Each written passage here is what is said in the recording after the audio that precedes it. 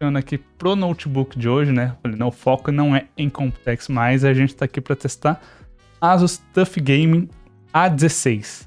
Agora que eu notei, eu, tá faltando a câmera do TC ali. Asus TUF Eita. Gaming A16. É, eu tirei a, a bolinha e eu já volto. Coloca, é, coloca a bolinha do Lucas. Que é um. E. Mexer agora. Aí, voltou. Que é a novidade da Asus, né? O primeiro notebook TUF, é, que não é da linha F15 que a gente tem aqui no Brasil.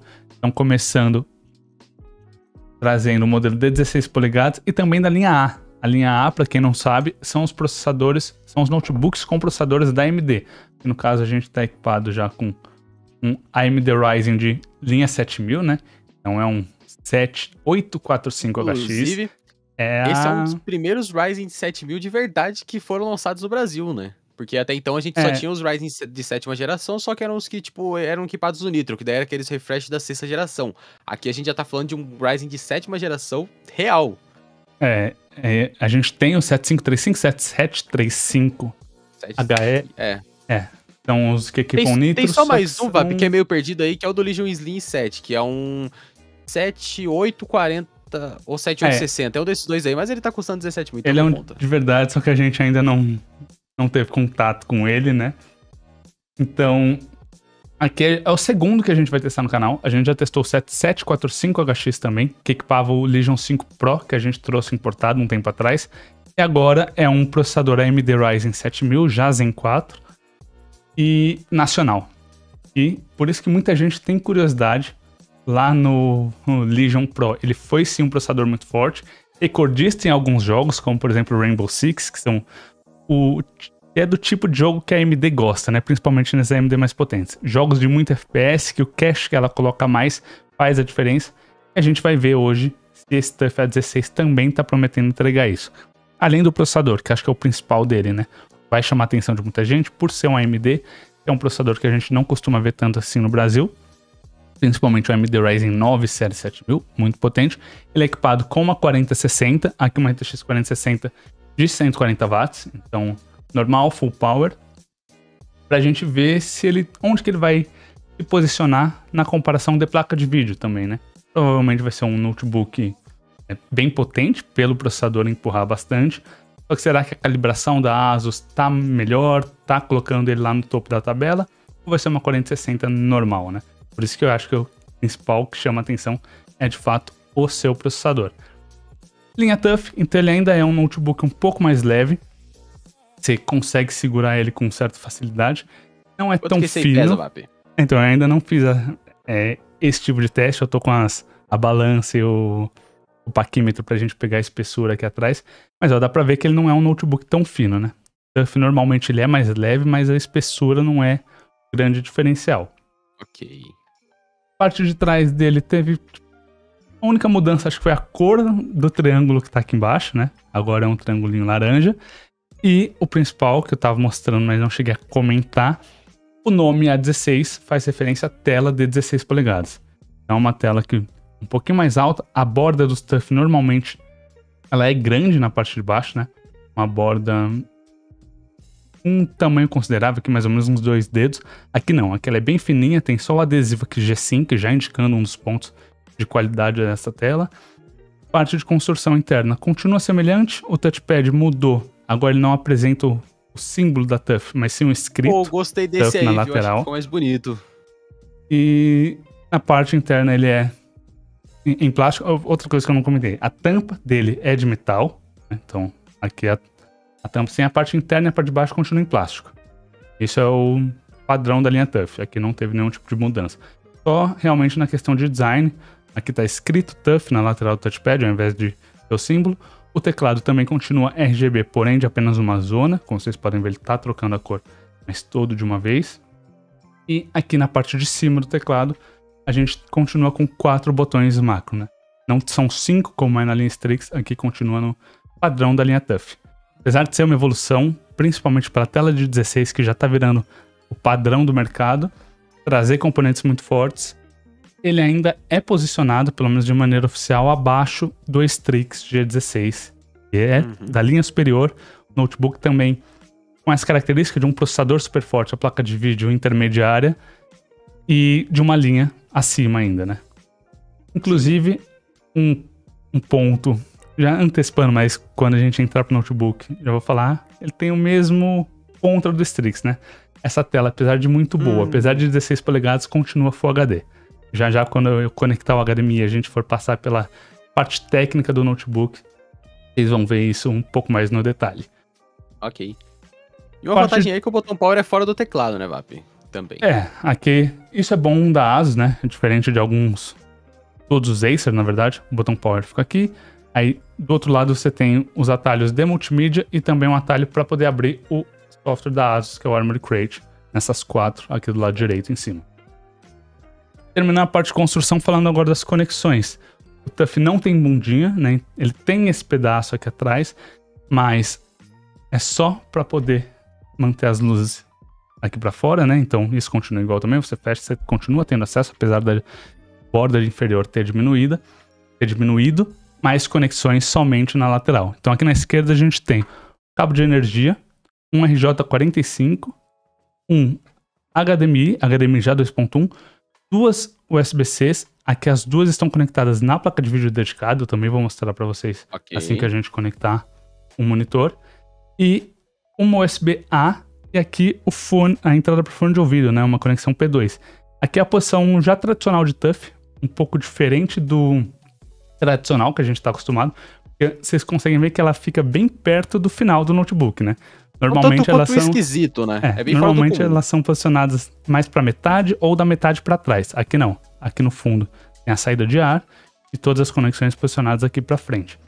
Porque do lado direito a gente também tem a parte de ventilação e só uma USB-A.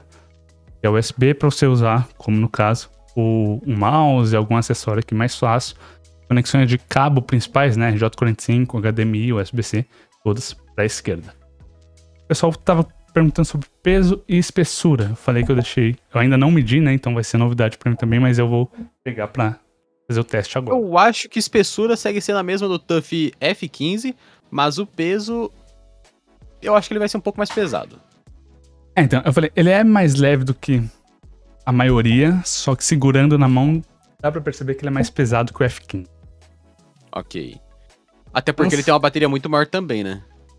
É, ele tem o tamanho maior, a, a bateria é maior, então ele tem, sim, várias diferenças em relação ao seu irmão menor de linha, né?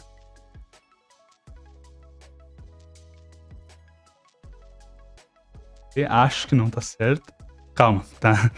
Ela deu 4 mil e pouco, mas é unidade errada. Só um segundo. Opa, calma aí. Pera aí. Unidade em. Aqui, gramas. Ah, 2.247.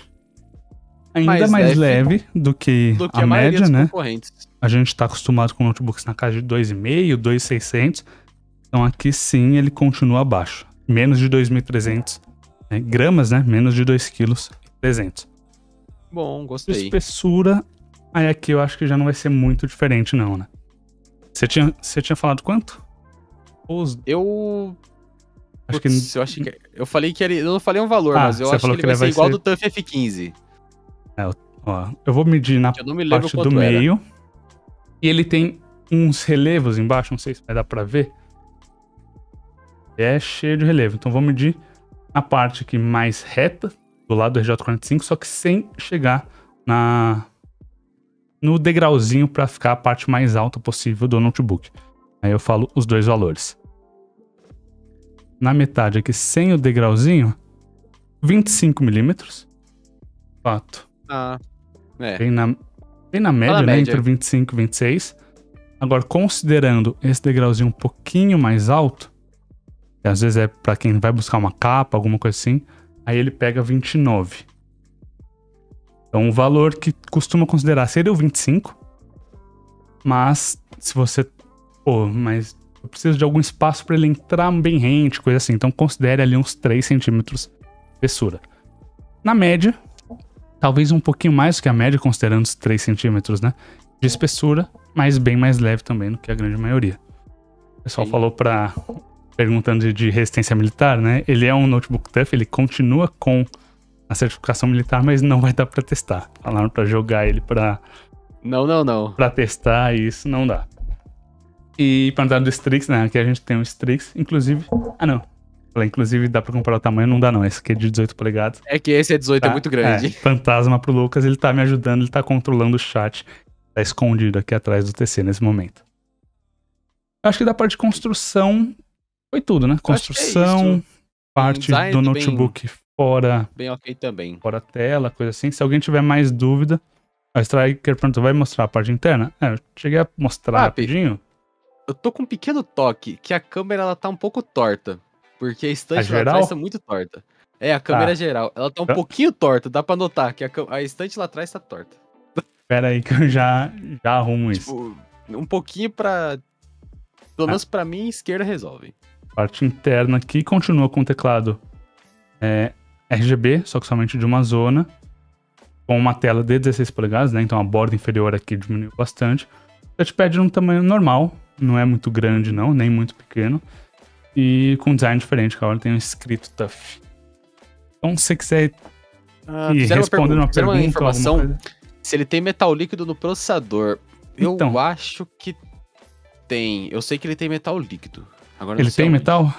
É, falar, eu, eu não, sim, eu não sei dizer, eu não encontrei a informação, porque aqui no adesivo ele não cita nada. Ele fala da tela, que é Full HD 165, é, 90% do corpo, da frente dele, é composta por tela, né? Então 16 polegadas dessa diferença.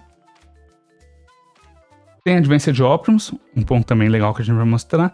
DDR5 operando a 5200 MHz, aceita carregamento via USB tipo C de 100 watts. E aqui ele fala das fãs, mas ele só fala que é, são novas fãs de 84 é... pás. Um novo filtro de poeira. E o Striker falou a parte de baixo da tampa, desmontando ele, provavelmente porque tem um ponto que eu vou comentar com vocês. E uma pergunta para fazer de como a gente vai testar. Vou só acertar a posição da câmera rapidinho. Se é uma, é uma, ir lendo um alguma pergunta. direita. Vamos lá. Agora Deu melhorou. uma forçadinha ali, acho que tá, tá mais... Agora tá certinho. Mais reto. Puxar agora pra parte... Pra tela do Tuff. E que ele...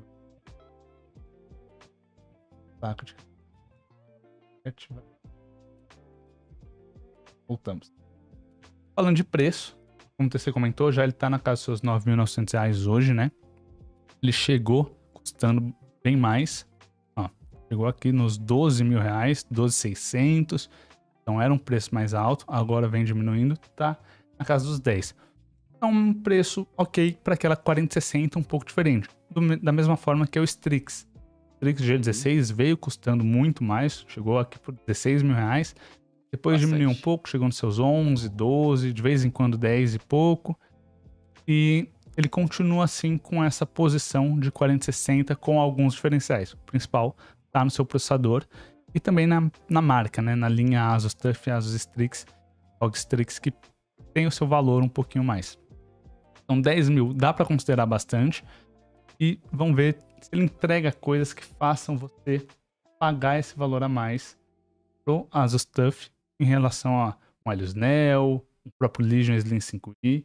Legion, é, Storm Go. Storm Go também, que entrega bastante, né? Já conhece. Só me acertar nessa tela. Ô, Vap, você só posição. consegue dar uma enquadradinha na nossa câmera? Então, é isso que eu vou fazer você agora. Você tá mais pra di direita, eu tô mais pra esquerda. agora, passando para a parte de hardware. Aqui tem alguns pontos para comentar, como eu disse.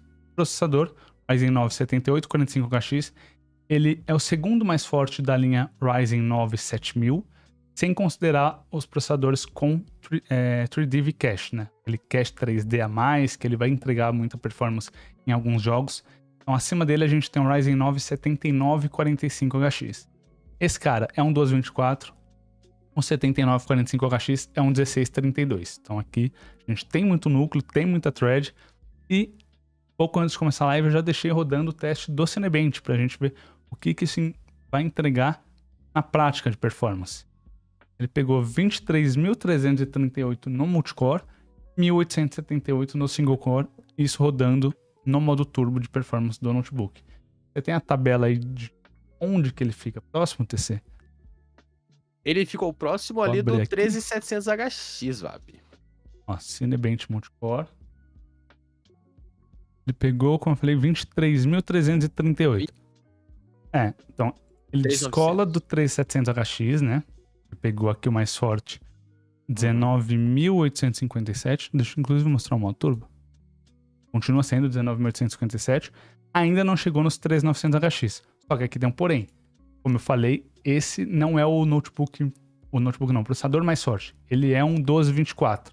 O 3900HX e todos daqui para cima já são 2432. Então essa diferença no número de threads, tendo 8 a menos aqui, já consegue ficar perto, né? Ele está mais próximo dos 25700 do que dos 19800.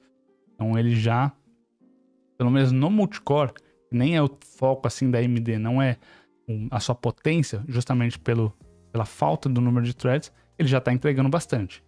No single Sim. core, 1878.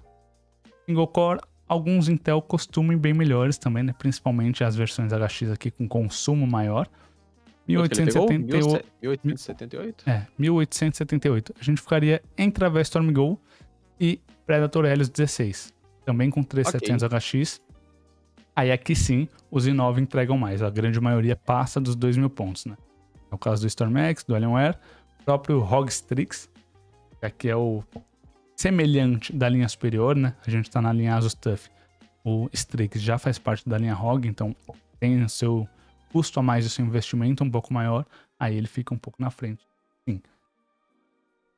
Saindo do processador, memória RAM, 16 GB, já DDR5 operando 5200, aqui tem um porém. Ele, assim como o Triton 300EC, vem com 16 GB na escolha de um pente só. Faz sentido porque DDR5 você não sofre tanto a questão do dual channel, só que você ainda pode ter uma diferença pequena em alguns casos. O que a gente mais sentiu foi quando a gente foi usar a placa de vídeo integrada no teste do mini PC. Ali a gente viu que em DDR5 e dual channel ainda tem muita diferença. Quando a gente faz testes com GPU dedicada, que foi o próprio caso do Triton, aí a diferença é praticamente nula. Então, Aqui a gente está operando 5200. O que eu comentei, acho que você pode até abrir essa enquete já, TC. Vocês vão preferir que a gente teste ele original. A quantidade é boa, 16 GB é o normal para notebooks gamers hoje em dia. Mas eu separei aqui também um pente de 8 GB, 5600, que dá para a gente ativar o dual channel, subir para 24, mantendo a frequência. Ok, teria que desmontar o notebook, conectar a outra memória, e não é a forma que ele chega original, né? Então, se você for comprar ele, você vai ter que saber que vai estar com essa diferença, talvez investir em outro pente. Se for fazer upgrade, eu recomendo pegar já 16 GB para fechar os 32 aqui certinho, uhum. ativando o Dual Channel. Então, a gente abre a enquete, deixa vocês voltando para na hora que for começar o teste em jogo, aí a gente vê se desmonta o notebook, faz o upgrade ou segue com ele original. Parte de SSD, ele vem com SSD da Western Digital de 500 GB. Aqui eu não cheguei a fazer o teste de velocidade, mas é um PCI Express Gen 4 já. É, já já eu coloco para baixar e deixar rodando pra gente pegar a velocidade Fechou. de fato. Wi-Fi, placa Wi-Fi da Realtek, mas Wi-Fi 6, né? Aqui o Wi-Fi okay. já padrão também que a gente está acostumado. E a placa de vídeo RTX 4060 na sua potência máxima na teoria, né? Então aqui não tem um corte, ela não é limitada em energia, ela pode chegar até 140 watts com alguns diferenciais por parte do notebook. Eu já comento. A potência máxima, né, o TGP 140 watts. Como eu falei da parte da USB-C desse cara, as duas estão conectadas na RTX 4060. Então, HDMI, que é a placa de captura, e as duas USB-Cs aqui da esquerda estão conectadas na 4060, então você tem todas as saídas de vídeo para poder usar tecnologia como G-Sync via DisplayPort, HDMI 2.1 para conectar numa TV também, e ainda continuar com G-Sync, aproveitar é, até 4K, 8K, então de é, saída de vídeo, ele é muito bom. E ele tem já advência de Optimus. Primeiro TUF que a gente tem aqui no Brasil com advência de Optimus. Os outros, a tela é bem mais simples e não conta com esse recurso. Além disso, ele tem o Mux também. Aqui eu não estou usando por estar passando a tela via placa de captura. Então aqui você consegue escolher esse é o melhor recurso, porque você não precisa ir na BIOS, reiniciar o notebook. No caso, às vezes você até consegue ver a software, só que você, de qualquer forma, tem que reiniciar. Aqui não, você tá usando ele. Abrir um jogo, ele vai identificar e vai fazer a troca automática. Se o jogo não funcionar legal ou se você preferir fazer alguma outra aplicação usando só a placa de vídeo RTX 4060, você vem, dá um clique aqui em GPU NVIDIA apenas e aplicar. Na hora que você aplicou, ele vai fazer a troca, a tela vai piscar, ele meio que cria um segundo monitor sem precisar reiniciar o notebook e vai estar tá rodando tudo na RTX 4060. É a forma mais fácil, né? O melhor, o melhor recurso da NVIDIA para você aproveitar tanto a economia de bateria, que é o ponto do Optimus, quando você fechar o jogo e deixar aqui na seleção automática ou no Optimus, ele vai economizar muita energia. A 4060 não vai estar sendo usada. Você vai jogar, vai fazer alguma coisa um pouco mais pesada, troca para GPU NVIDIA e aí você tem de fato toda a performance. Ok. O, o ponto que eu comentei da memória RAM, né? Então aqui abrindo o CPU Z, só para mostrar ele, ele já indica, né? É só um slot de dois, mas aqui é a parte do canal, né? São dois de 32, que é como funciona a memória DDR5. Se a gente colocar um outro pente, ele sobe aqui para 4 de 32 bit também. Vap, você comentou que a versão TUF F15 4050 não tem Advanced de Optimus, mas essa versão tem sim. Não, na verdade ele tem o 4050. Aqui não tem, a 4050 tem. Hum, Aqui não tem a 3050. Então, eu esqueci que daí da versão 4050. Então não é o primeiro TUF com Advanced Optimus, mas é mais um TUF com Advanced Optimus, então. Então, corrigindo isso, essa parte. Isso. Ele continua com esse Você falou nisso, eu fiquei pensando. Eu, falei, tinha esquecido. Será que eu, será que eu escrevi errado? Eu tinha esquecido da versão 4050. Eu tava considerando os modelos 3050. Ah, então, TUF sentido, com série 4000 já traz Advanced Optimus, o que é bom pros dois, né? Aqui o diferencial é, de fato, a tela de 16 polegadas, que faz bastante diferença, e o processador, o Ryzen 9 7845 da X. Acho que de teste já foi, né? Vou só deixar rodando aqui o o teste de SSD para a gente ver a velocidade. Enquanto isso, se quiser abrir uma enquete TC para ver como que a gente começa sim. os testes. Primeiro, se eles preferem original, 16 GB, ou se faz upgrade para 24. Tá bom. E então. Aí depois a gente vê os jogos. A gente vai começar com alguns jogos de tabela, né? Para ver onde que ele se posiciona em relação a 4060. Os jogos tipo Cyberpunk, Assassin's Creed Valhalla, Forza Horizon, Horizon 5. Os mais pesados que vão focar de fato na placa de vídeo. Depois a gente pode ir para um Rainbow Six, um CS, jogos competitivos, né? Jogos que vão gerar muito FPS para ver se o Ryzen faz diferença. E o Rainbow Six a gente consegue comparar também na tabela. E ó, pessoal, passando aqui para avisar que nós temos o nosso site de promoções, o benchpromos.com, onde a gente posta promoções de notebooks e periféricos. Então, depois vai lá dar uma olhada que você vai curtir, fechou?